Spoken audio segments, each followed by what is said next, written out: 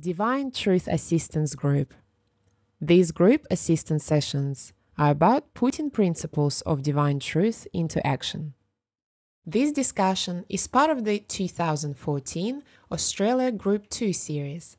Mary presents Challenging Addictions, filmed on the 31st of July 2014 in Monterey, New South Wales, Australia. This is part 1. How you guys all going? Still fired up? It's been a lot of content today. um, I'm going to present to you some information about challenging addictions.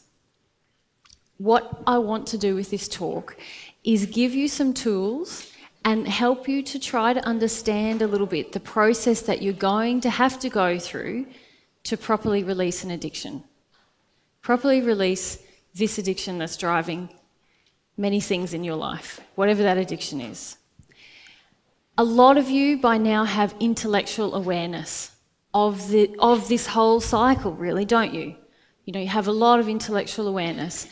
And hopefully, what I'm going to talk about today is some tools to help you shift from intellectual awareness into emotional awareness and growth. Oh, look, someone's come to join us. G'day, mate. All right, let's see. Yep. So, the first reminder I want to make before I begin is that the deconstruction process that Jesus described for you guys yesterday, from having intellectual awareness, intellectual desire to find out what this injury is all about. So, in this case, with the addictions, have an intellectual awareness of the addiction, an intellectual desire to discover what's driving it, and to have an intellectual idea maybe of what it is, you're still going to have to go through that process with all of your addictions, almost all of them, before you move into this emotional awareness and then emotional change. What I'm going to talk to you about is the steps after you have the emotional awareness and the emotional inkling of what it's about. So, this is hopefully the next step for a lot of you guys. Sound all right? Okay, I'll just skip through that. So, before I start, I want to talk to you just about my journey with what I'm about to present to you. What I'm going to describe is the process of beginning to take personal responsibility for your addictions. And that is, ah, I have an addiction and it's my responsibility to deal with it.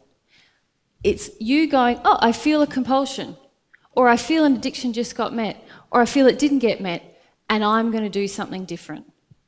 It's you deciding for yourself and undertaking that process personally. Now, what happened for me in the beginning of my journey of rediscovery with divine truth was that I had a lot of external challenges to my addictions. Moving in with Jesus does that. So, and do you remember the other day when I was talking about the will to love? And I did that practical demonstration with Cornelius where I was holding the weight and he was lifting it for me. When, some, when you have an addiction in play and somebody and your circumstances are challenging it continually, you might do a little bit of emotional work, but you aren't lifting the weight yourself. The external circumstances are. So you're not really growing your will to change and grow and to love. Does that make sense? So that was me for a long, long time. And that was because of three main factors. Because, I mean, it's pretty surprising, isn't it? I'm Mary Magdalene.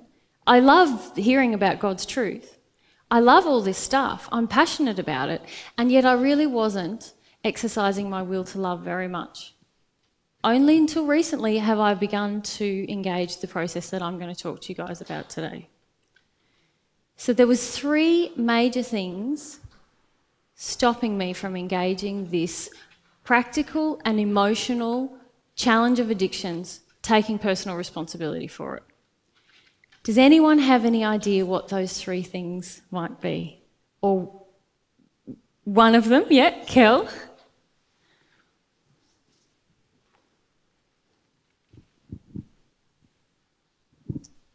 One at least, um, wanting somebody else to do it for me. I did want someone else to do it for me. That's right. Why did I want someone else to do it for me? There was some. I haven't engaged my will. That's right. So if let's think back to Cornelius's talk on the first day. It was about the desire for personal change, or the fear of personal change, really, wasn't it? And what were three major things that he outlined that prevent us actually desiring to change for ourselves? Carty?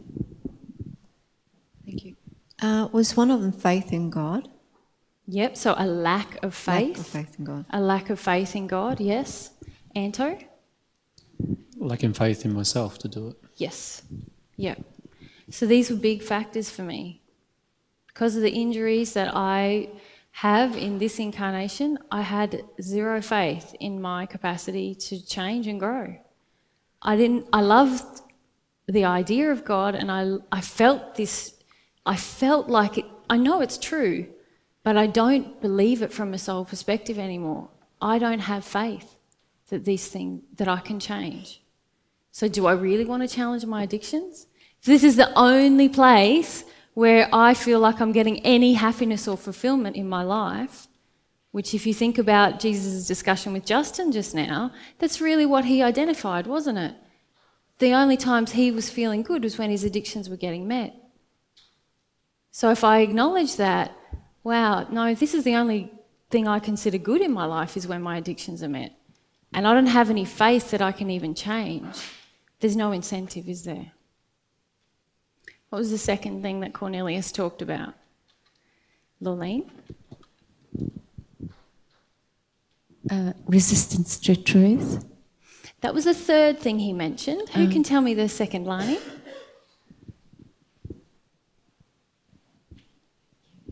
Lani, um, allowing the overwhelm of emotion.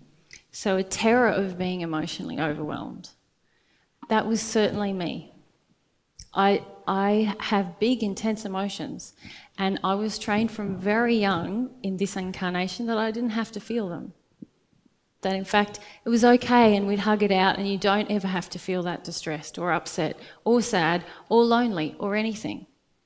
So I was terrified of being emotionally overwhelmed. And this prevented a desire to challenge my addictions because guess what? When we challenge our addictions, there's going to be some emotions involved. And what was the third thing? Lorleen mentioned it already a resistance to truth. Now, I did have this on my side in that I do have a love for truth. It did pull me through a lot of stuff, this seeking feeling inside of me of wanting truth.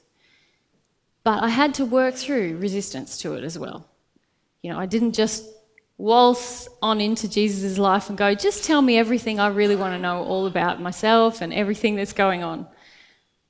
I had resistance to it, I had fear about it, but it was the thing that pulled me through a lot of stuff.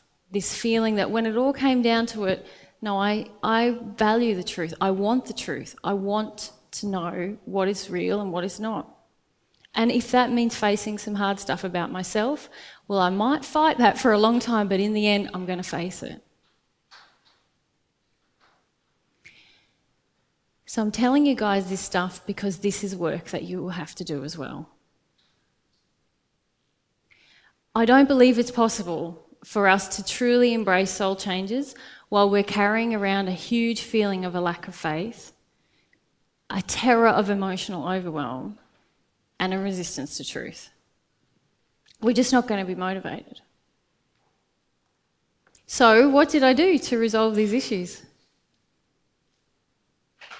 Karina? Um, you exercised your will. I did exercise my will, but I had to do some other things in, involved in that. Glennis?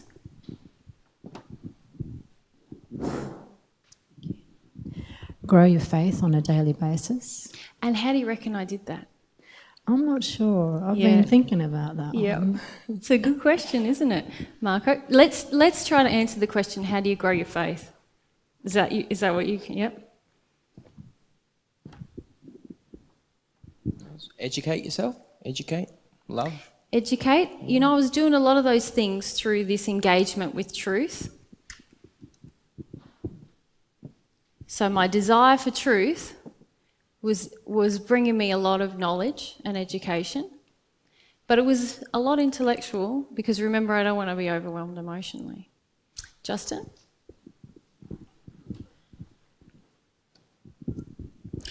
Just give it a go and see what happens. Do you know what I did, Justin? I gave it a go, especially in the area of challenging addictions, and baby, I didn't grow any will, will muscle, but I grew a lot of the willpower muscle. I have a steely resolve. I'm going to I'm going to get this. I'm going to get this. I'm going to prevent. And I went through actually some of the feelings that you are now starting that are starting to be you're becoming more conscious of. I felt miserable because I went, nah, I want this truth, and I can see its truth. So I'm going to use willpower. I'm not going to have my addictions, and I'm not going to do it, and I'm not going to do it, and I'm not going to do it. And this feeling came up for me. And it's a feeling that some of you are faced with at the moment.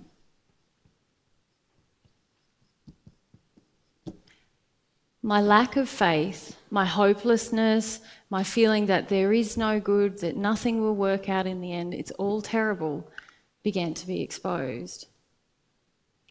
And I had to grieve about that.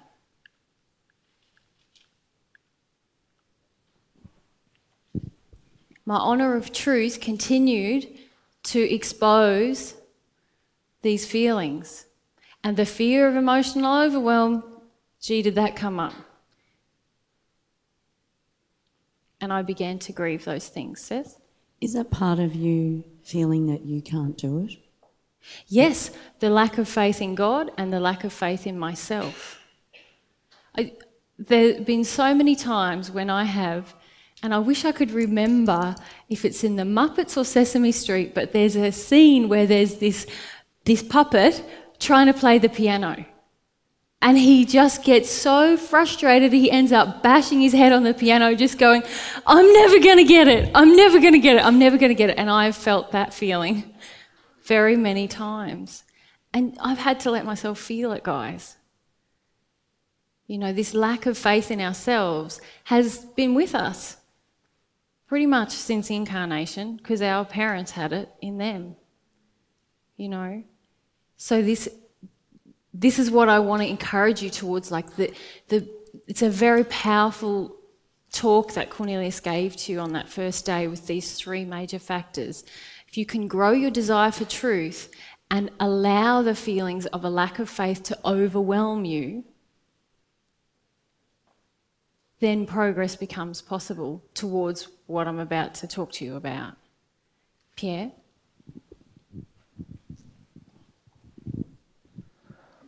How long did it take to you to go through your lack of faith? And I ask that because I felt some lack of faith a few days ago and I had a big overwhelming process, but it was short and probably not enough at all, but to have an idea of what it requires to go through this one only? Okay. Yeah. Yep. Can I put the three up there? So. Um,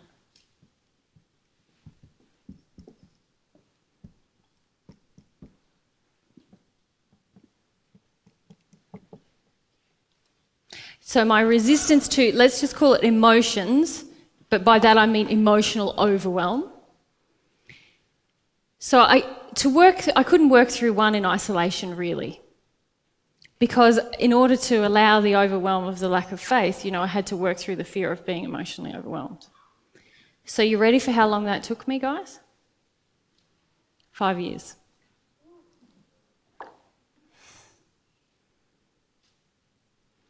Maybe by my fourth year, things were getting a bit easier. But really? Five years. My continual engagement with truth every single day living with someone who exposed the truth to me through an external source every single day. And you know, I had to want that truth because it was very challenging. I was dealing with an extreme lack of faith and an extreme desire not to be overwhelmed. And I did run away heaps of times. But then, desire for truth brought me back. Linda?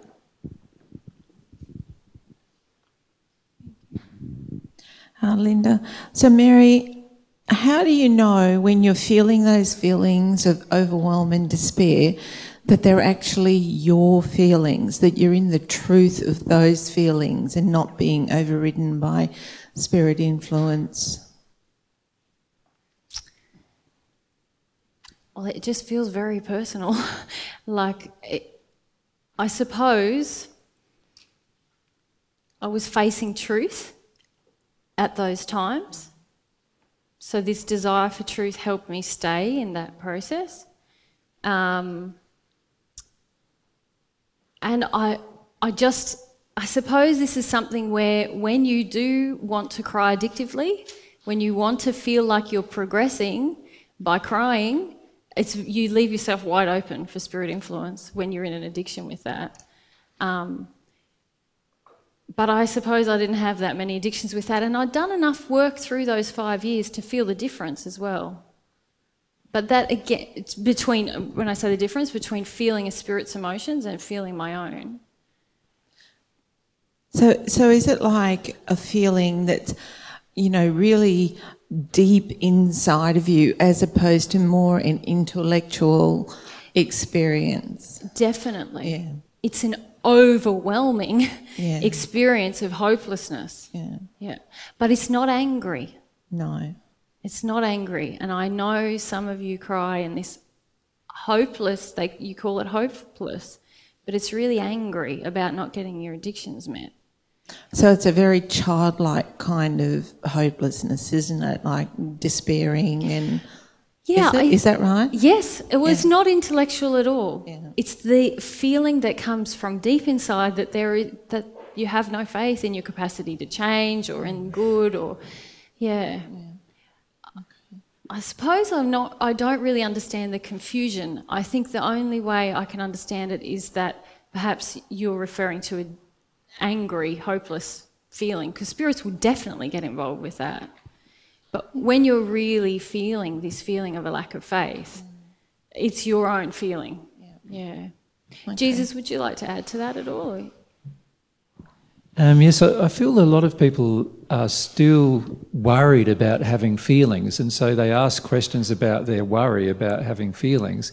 If you truly engage your feelings, you will soon be able to determine when you're being influenced in a feeling and when it's actually your feeling. Hmm. But, but see, most people don't engage their feelings first. So what they do is they want to intellectually know, is this a spirit or is this me, before they engage a feeling. And of course, at that point, you're never going to know because you're not engaging the feeling yet. So it's all everything's back to front. Like you're trying to, you know, like many of your questions are about, like engaging thoughts first before you have a feeling. That's not the way feelings are. You, you, you really, when you really feel a feeling, you, you don't have any thoughts about it. Really, you just engage the feeling completely. Yeah. Yeah. And that, but that, but this fear, this questioning, is all about a fear of emotionally being overwhelmed. Mm-hmm. So, so Mhm. Linda's question is really about her fear about being emotionally overwhelmed. Yeah. Yep. Yeah, thanks. Any other questions before I move on? Anto? Mary, when you said you um, honour the truth in that moment, is it honouring the truth of that there's lack of um, faith, or Yes. just on that issue? Yeah, or I, I was conf- I see what a lot of us do in our personal lives is that we are living in a lot of addiction and we're comfortable allowing ourselves to see parts of it, but not all of it. Or we don't really we want to tell ourselves a bit of a story about our true motivations that that aren't true.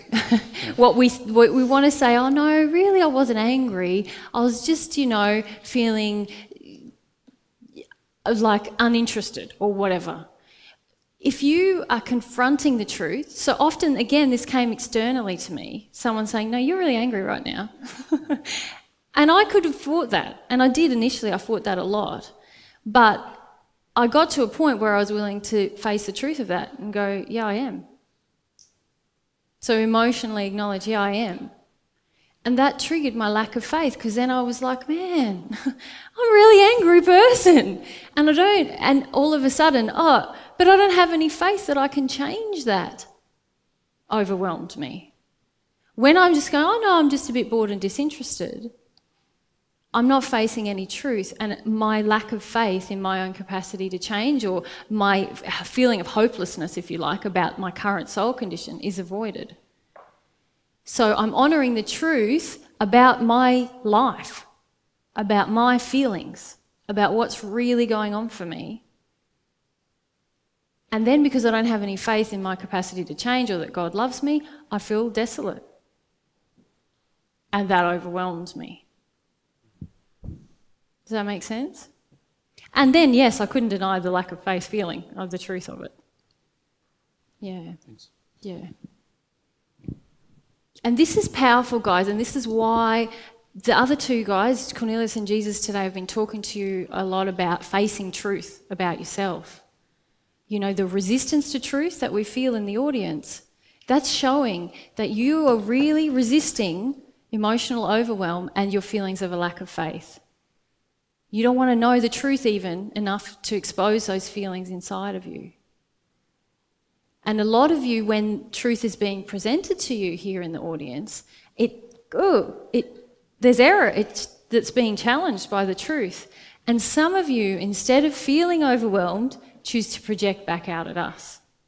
Oh, I don't like this. Oh, I'm a bit confused. Oh, well, no. Hang on. You know, these kinds of feelings. And that's showing that you're resisting truth and this truth has power, guys. This is the only way I changed. Was wanting truth about myself because that helped me through these other two massive, massive, massive blocks. Like when I was saying I had a lack of faith, I'm not saying like a little bit. it's a big lack of faith, and it's actually something that I'm still working through the feeling of hopelessness and, you know, fear about the future because I lack confidence in my own capacity to change. But this desire for truth is what's helping me through these things. And growing my soul in this, this ability, it's, it's um, willingness to be overwhelmed and to stretch. Does that make sense? So I know it seems a bit scary that I said it took me five years, but I feel they were years well spent. I had a huge resistance to truth especially personal truth. And now, just got a little one. and that's liberating because it's, it's helped me, like, not fear truth as much. It's helped me have a lot more softness and compassion. It's helped me to begin to challenge addictions emotionally and to get to my hurt self. Like I'm saying, it was five years of hard yakka, and in the last year, wow, so much has changed for me in a very beautiful way. So that's why I wanted to introduce this talk and tell you a bit about my journey. Because some of you I've known for that length of time, but I still see you resisting this truth and resisting these feelings. Some of you are better with emotional overwhelm than I was, but you really resist the truth. You're going to have to work on all three of these things. Make sense? Okay.